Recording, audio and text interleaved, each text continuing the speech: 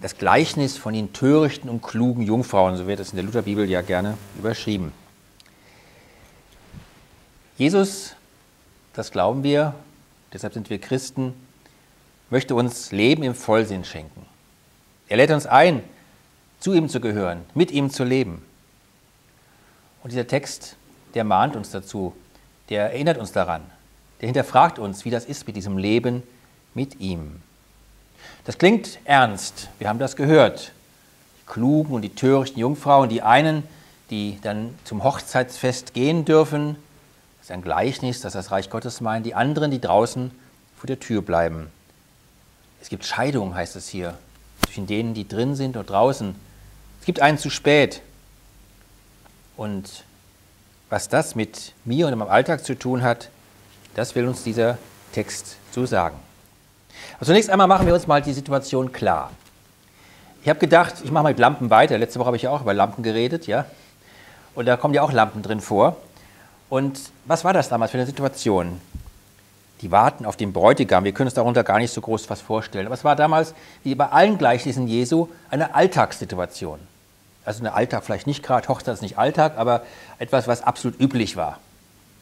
Und zwar, äh, wann heiratet man hierzulande? Meistens um 14 oder 15 Uhr oder sowas, ja? Und wie das in Israel? Da heiratet man nach Sonnenuntergang. Erstmal war das Tagwerk dann getan und zweitens war es kühler. Man konnte ein bisschen feiern dann. Und dann war es so, dass die Hochzeit stattfand. Deshalb sage ich immer, Hochzeit ist etwas öffentlich-rechtliches.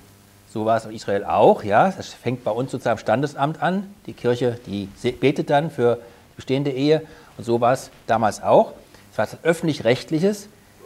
Die Hochzeit fand statt, indem der Bräutigam in feierlichem Zug zum Haus der, des Brautvaters zog, dort die Braut sozusagen abholte und sein Haus brachte. Das geschah ganz öffentlich. Und das war die Hochzeitszeremonie damals, sozusagen das Standesamt. Und da gab es natürlich einen fröhlichen Zug, dann gab es viele von diesen Lampen, die ich letzte Woche schon beschrieben habe, so kleine Flämmchen dann, und wenn man dann 10 und vielleicht 20 und 30 dabei hat, wird sogar mal ein bisschen heller nachts dann, ja. Und dieser Zug, der begleitet den Bräutigam zum, äh, zum Haus der Braut, um die Braut dort abzuholen. Es wurde Musik gespielt, es wurde ein bisschen getanzt dabei. Es war eine ganz fröhliche Angelegenheit. Die Braut wird heimgeholt. Und dann gibt es eben diese Brautjungfern, die zusätzlich zu allen anderen, die vielleicht auch ein paar Lampen hatten, eben dann diese Braut besonders begleiteten. Die warteten am Haus der Braut auf den Bräutigam, dass er die Braut holen soll, um dann auch mitzufeiern im Haus des Bräutigams. Frauen, verzeiht mir das, ihr Schwestern, waren damals ja Besitz erst des Vaters, daher des Ehemanns. Und von daher war der Heimholung in den in das Haus des Bräutigams sozusagen dann auch die Besitzübernahme dann. Der Bräutigam war nun verantwortlich für seine Frau auch dann, ja. Und in diesem Sinne geschah damals die Hochzeit und die Braut gehörte nun zum Haus des Bräutigams. Dort wurde dann gefeiert. Dieses Bild ist es, was wir am Anfang hier haben an diesem Gleichnis. Und nun muss man wissen, dass in der Bibel schon im Alten Testament Hochzeit immer wieder einmal gebraucht wird als Bild für die Vereinigung Gottes mit seinem Volk. Zum Alten Testament sagen die Propheten, dass Yahweh, dass Gott sein Volk wie ein Bräutigam begegnen will, dass Israel wie eine Braut ist ihm, dem der Bräutigam Liebe zuteil ist. Hier geht es nun im Neuen Testament darum, dass Jesus die Gemeinde, die Braut, holt in sein Haus, eben das ewige Haus Gottes, in das ewige Reich. Es geht also um das, was wir auch in unserem Bekenntnis beim Abendmahl haben. Christus ist gestorben, Christus ist auferstanden, Christus kommt wieder. Darum geht es. Er kommt wieder und er wird die Gemeinde in sein Reich, in sein Haus holen. Nun, in diesem Gleichnis geschieht nur etwas Ungewöhnliches. Der Bräutigam lässt auf sich warten. Der Bräutigam lässt auf sich warten. Normalerweise hätte es den Bräutigam ja wohl eilig, dann die Braut möglichst schnell heimzuholen, ja, kaum die Sonne untergegangen ist, ah, schnell, schnell. Aber hier wartet er. Und das ist ein Gleichnis dafür, dass die Menschen damals dann die Erfahrung machten, dass Jesus eben nicht nach ein paar Monaten wiederkam, auch nicht nach ein paar Jahren. Das Matthäus-Evangelium wurde ja schon gut 30, 40 Jahre nach Jesu Tod und Auferstehung geschrieben und Jesus war immer noch nicht wiedergekommen. Und die leben heute im Jahr 2011 und immer noch wartet die Gemeinde auf die Wiederkunft. Von dort wird er kommen, zu richten die Lebenden und die Toten, sagen wir im Glaubensbekenntnis. Die Zeit bis da ist länger, als die Menschen damals im Neuen Testamentliche Zeiten erwartet hatten. Und dieses Warten der Brautjungfern hier ist also ein Warten in dieser Welt. Es geht um die Zeit in dieser Welt, also um unser Leben. Wie leben wir? Die Brautjungfern, das sind wir, die Gemeinde. Und das Warten auf den Bräutigam, das geschieht heute Abend zum Beispiel. Das geschieht morgen, falls der Herr heute Nacht nicht wiederkommt. Oder das geschah gestern. Wie wir leben. Unser Leben ist diese Wartezeit. Und das ist so, dass wir leben sollen in der Erwartung unseres Herrn. Einerseits so, als käme er morgen wieder. Andererseits aber auch bereit sein, dass er vielleicht erst in 10.000 Jahren wiederkommt. Wir wissen es nicht. Manche Christen, die mich auch schon begegnen, versäumen das heute, weil sie nur auf das Morgen gucken. Denen ist nur die Wiederkunft wichtig. Dann hinweg, du böse Welt, da verschanzen wir uns vor allem und warten, bis der Herr wiederkommt. Aber wir wissen es nicht. Es kann ja sein, dass Jesus erst noch lange, lange wegbleibt, nicht mehr zu unseren Lebzeiten ist. Wer aber das heute versäumt, wird am Morgen schuldig. Das sagt uns dieses Gleichnis. Wenn die Lampen sozusagen ausgehen, heute nicht brennen, dann können sie auch morgen, wenn der Herr wiederkommt, wenn der Bräutigam kommt, nicht brennen. Denn eins ist klar im Gleichnis hier, die Lampen sollen brennen. Wir müssen uns klar machen, man hat damals nicht einfach Streichhölzer gehabt. Wohin heißt es, Sören, du bist Raucher, mach mal die Kerzen an. Und der Sören hat sein Feuerzeug rausgeholt und knips, knips und die Kerzen brannten. Sowas gab es damals nicht. Man hatte Feuer im Haus und hütete es sorgfältig, dass es ja nicht ausging, denn wenn man es ausging, muss man irgendwo anders sich Feuer besorgen. Und so war es auch bei den, Bräutig bei den Lampen hier für die, von den Brautjungfern. Wenn die ausgegangen waren, war es schwierig, sie wieder anzumachen. Muss man eine andere Lampe anzünden oder wie auch immer dann. Ja? Die Lampen sollen brennen. Die Lampen sollen brennen, auch während der Wartezeit. Es ist also falsch zu sagen, es kommt nicht auf die Wartezeit an. Wir warten ja auf den neuen Himmel und die neue Erde. Nur auf die Hochzeit kommt es an. Nein, das sagt uns dieses Wort hier. Ohne die Wartezeit, ohne die richtig genutzte Wartezeit, wird es keine Hochzeitsfeier geben für den, der diese Wartezeit versäumt. Die Lampen brennen immer. Klar, sie brennen immer für den, Leut, für den Bräutigam. Auch wenn er gar nicht da ist, sozusagen. Auch wenn er auf sich warten lässt. Interessant ist ja hier, dass alle einschlafen. Die Klugen und die Törichten, ja, die Dummen, Töricht ist ja auch ein altes Wort, die schlafen alle ein. Und ich sehe darin, dass Jesus gar kein Problem damit hat, dass wir nicht immer jeden Morgen denken, ach, wenn der Herr heute wiederkäme und ach, wie schön ist das und so weiter. Ständig nur morgens aufstehen mit der Wiederkunftsgedanken im Hinterkopf. Das mag uns mal besonders nah sein, wenn es vielleicht mal besonders dreckig geht. Ja? Da, die Gemeinde Jesu in Bedrängnis hat immer viel von der Wiederkunft gepredigt. Da war es schon so. In unserem Land ist es manchmal so, wie Manfred Siebald sagt, wir beten laut, ja komm doch wieder und denken leise, jetzt bloß noch nicht, ich habe noch das und das zu erledigen. Ja? Aber äh, Jesus hat damit gar nicht das große Problem. Alle schlafen ein. Alle fangen an, schläfrig zu werden während der Wartezeit. Und das heißt, sie sind nicht mehr fixiert auf das Kommen des Bräutigams. Und das tadelt Jesus hier nicht. Es ist kein Tadel für ein normales Leben in dieser Welt, mit seinen Freuden und Leiden, mit seinem Ernst, seinen schönen Seiten. Kein Tadel für ein Leben mit einer Lebensgestaltung hier, mit den Freuden an dieser Welt, mit der Schönheit dieser Welt, es ist kein Tadel, dass Menschen sich hier wohlfühlen. Überhaupt nicht. Kein Tadel an vielen kleinen Träumen und Hoffnungen, die wir haben, und den großen Träumen und Hoffnungen, die manchmal erfüllen und manchmal zerplatzen. Alle nicken ein. Alle schlafen ein. Seit der Bräutigam lange ausblieb, wurden sie alle schläfrig und schliefen ein. Aber die Lampen müssen brennen. Das heißt, auch wenn Menschen nicht so vollkommen fixiert sind auf die Wiederkunft und Hand aufs Herz, wer von euch hat denn heute schon an Wiederkunft gedacht? Keiner, gell? Ist das schlimm? Nö. Das Wichtige ist, die Lampen sollen brennen. Das heißt, dass diese Hoffnung, Jesus kommt wieder, die wir auch im Abendmahlsliturgie hier jedes Mal haben, dass die irgendwo in uns schon lebendig ist, auch vielleicht im Hintergrund, ja? Dass immer noch da ist. Ich bin ja fasziniert bei meinem Computer, wenn der im Hintergrund irgendwas noch macht dann, ja? Das merke ich gar nicht.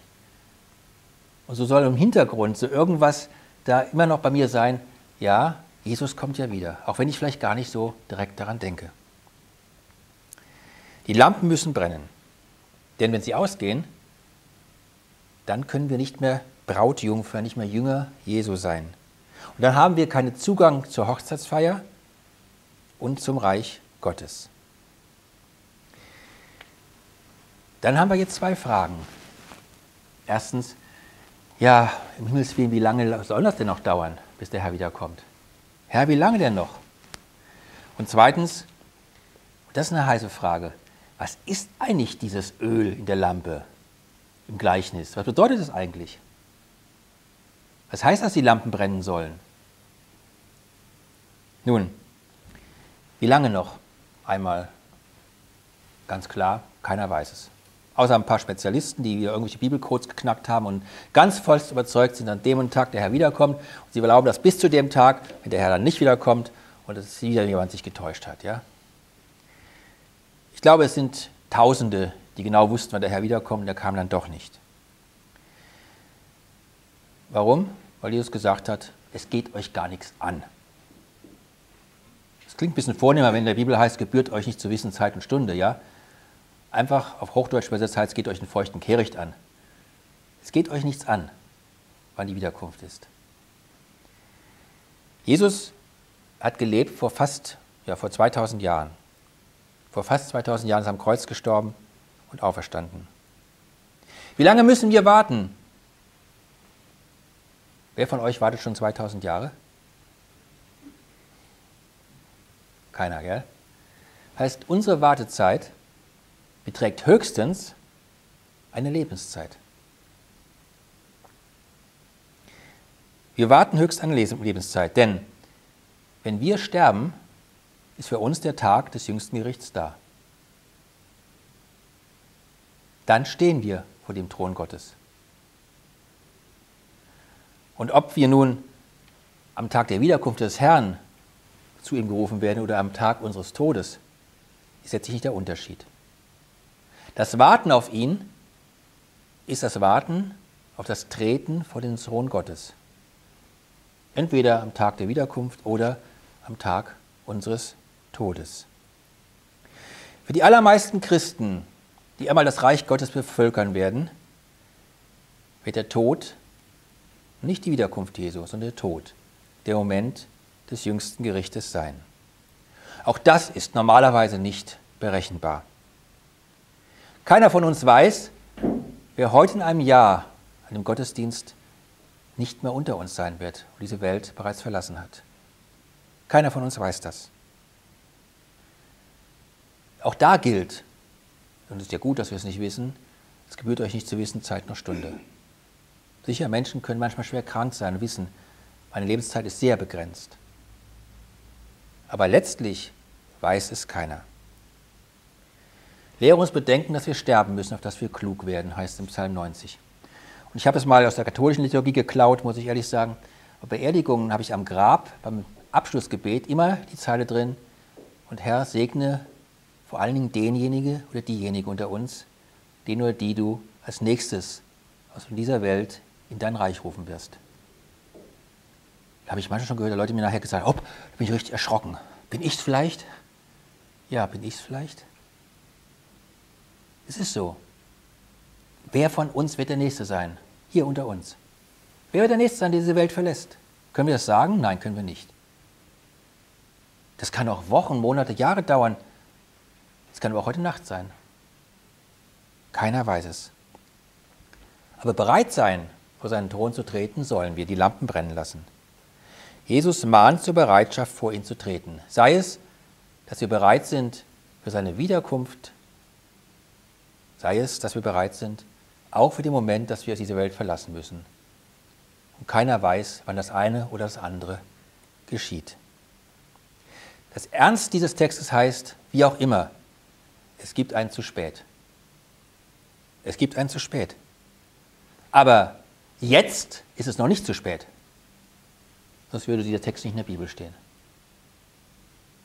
Jetzt ist es noch nicht zu spät, denn sonst würde Jesus nicht mit uns reden. So, das einmal das wie lange noch. Und zweitens nun die, die Gretchenfrage, die 1 Million Euro Frage. Was ist denn auch eigentlich das Öl in der Lampe im Gleichnis? Das fromme Leben, jeden Tag eine gute Tat, möglichst alles getan haben, was der Herr von mir verlangt oder verlangen könnte, dem Herrn gedient, das ohne Furcht und Tadel oder was? Man ist schnell bei solchen Gedanken. Sehr schnell. Aber machen wir uns doch mal klar, was eigentlich die Grundlage unseres Glaubens ist.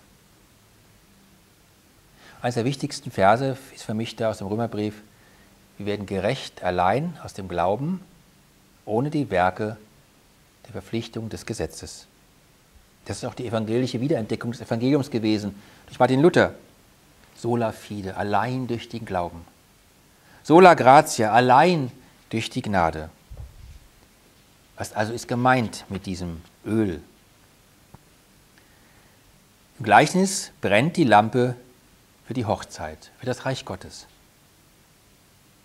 Nicht um die Wartezeit zu erhellen, und dennoch tut sie es.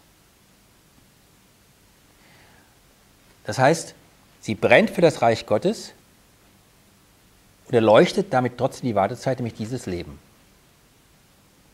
Die Bereitschaft ist also nicht ein bestimmter Grad an christlicher Vollkommenheit und an tollen Werken, sondern die Bereitschaft heißt, ich bin eingestellt, orientiert auf das Fest Jesu. Ob immer ganz bewusst der mir im Hintergrund ist eine andere Frage, darum geht es nicht. Es geht darum, dass ich mit meinem Leben und Sterben auf Christus vertraue. Eben auf dieses Sola Gratia, Sola Fide. Allein durch die Gnade, allein durch den Glauben. Das Öl sind nicht die Taten, sondern der Glauben, das Vertrauen auf Christus allein. Daran entscheidet es sich, ob eine Lampe eine brennende Lampe ist oder nicht. Die tollsten Taten, ohne dieses Vertrauen getan, sind eine tote Lampe, die nicht brennt. Die Lampe brennt, wenn ich auf Christus vertraue. Dann leuchtet sie und dann wird sie auch, der Glaube auch wieder in der Liebe tätig. Dann geht es auch doch wieder um die Taten, aber nicht als Voraussetzung dafür, dass wir sozusagen zum Bräutigam gehören dürfen, sondern als Folge ein Christ handelt so und so und so und so, nicht um Christ zu sein, sondern weil er Christ ist. Und das ist ein ganz entscheidender Unterschied. Wir handeln als Christen nicht um Christen zu sein, sondern weil wir Christen sind. Wenn ich euch jetzt sehe, da, dann ist ja so, dass ihr einander Gutes tut, nicht damit der andere Partner ist, sondern weil er es ist. Stimmt's? Oder? Genauso ist es auch im Glauben. Wir handeln als Christen nicht um Christen zu sein, nicht um zu Christus zu gehören, sondern weil wir zu ihm gehören. Das ist ja ganz wichtig. Und weil wir zu Christus gehören, weil wir auf ihn vertrauen, brennen die Lampen. Und diese Helligkeit erleuchtet diese Welt und steht dann auch für die Taten, die dann Christen wieder tun, weil sie zu Christus gehören. Wo Christen sind, leuchtet etwas auf auf dem Glanz des letzten Festes im ewigen Reich Gottes. Leuchtet etwas auf vom Reich Gottes in dieser Welt. Wer nur auf was morgen starrt, dessen Lampe leuchtet nicht zu der Zeit, wenn der Bräutigam kommt. Wer meint, er müsste ein frommes Leben führen, wird es erleben, dass Jesus einmal zu ihm sagt, wahrlich, ich sage euch, ich kenne euch nicht. Wer aber meint, wer meint, ein frommes Leben zu führen, vermischt das reine Öl des Glaubens mit dem Wasser der Gesetzlichkeit. Es geht darum, die Lampen brennen zu lassen für das Reich Gottes. Und dann geschieht es, dass das auch in dieser Welt leuchtet, einfach weil sie brennen, aus dem Glauben für das Reich Gottes hin. Ob ich auf Christus vertraue, daran entscheidet es sich dann, ob ich diesem Fest der Ewigkeit teilnehme oder vor verschlossener Tür stehe und hören muss, ich habe dich nicht, ich kenne dich nicht. Und schließen möchte ich darum mit einem Zitat von Martin Luther, der es zusammengefasst hat. Das Leuchten aus dem Glauben, das dann sozusagen auch diese Welt erleuchtet und christliches Handeln sein kann und Reich Gottes dieser Welt aufleuchten lässt, nicht um zu Christus zu gehören, sondern weil. Er sagt, darum sehe ein jeglicher, dass er diese zwei zusammen hat. Das Öl, das ist der Recht, das Recht Vertrauen und Glauben in Christum. Und die Lampe, das Gefäß, das die sozusagen das Öl leuchten lässt, das ist die auswendige Dienstbarschaft gegen deinen Nächsten. Öl des Glaubens. So meistern wir die Ölkrise, die hier beschrieben ist. Ja? Öl des Glaubens, indem wir auf Christus vertrauen, mit unserem ganzen Leben und Sterben, mit unseren Zweifeln und Anfechtungen. Es gibt ja Situationen, wo ich sage, Herr, ich kann gar nichts mehr glauben, ich kann einfach nur mich an die festklammern. Wisst ihr, dass Christus so ein Glaube besser gefällt, als wenn manchen manchmal Leute vor Selbstbewusstsein, vor Christus nicht mehr laufen können? Dann vertrauen sie viel mehr auf Christus. Das Öl des Glaubens auf Christus allein. Die Lampen leuchten lässt für Jesus. Und das mitten in dieser Welt, so der Glanz des Reiches Gottes auch in dieser Welt aufleuchtet, wo Christen aus diesem Öl des Glaubens anfangen zu leuchten. Und dann sind wir in der richtigen Wartezeit. Dann brennen unsere Lampen. Dann ist auch nicht schlimm, wenn wir Nickerchen halten, im Hinblick darauf, dass wir die Wiederkunft unseres Herrn mal nicht so ganz im Blick haben. Das ist gar nicht schlimm. Aber die Grundhoffnung, der Vertrauen auf das kommende Reich Gottes, das lässt uns leuchten und lässt uns leuchten mitten in dieser Welt. Amen.